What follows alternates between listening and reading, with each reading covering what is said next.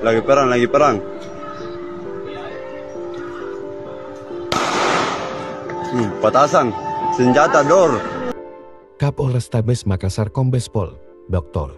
Muhammad Najib S. Engkan, MH bersilaturahmi ke Masjid Al-Bilal Kecamatan Mariso, Selasa 19 Maret 2024. Dalam kesempatan itu, Kapolrestabes Makassar memberikan motor baru kepada korban yang beberapa hari yang lalu motornya dibakar di Jalan Haji Bau. Kombes Pol Dr. Muhammad Najib juga menyampaikan pesan Kamtibmas kepada masyarakat di masjid. Sebelumnya pada Minggu, 17 Maret 2024 terjadi bentrok di Jalan Haji Bau, Mariso, Makassar. Bentrokan tersebut menyebabkan satu unit motor milik seorang warga Ludes dibakar. Motor lagi dibakar nih.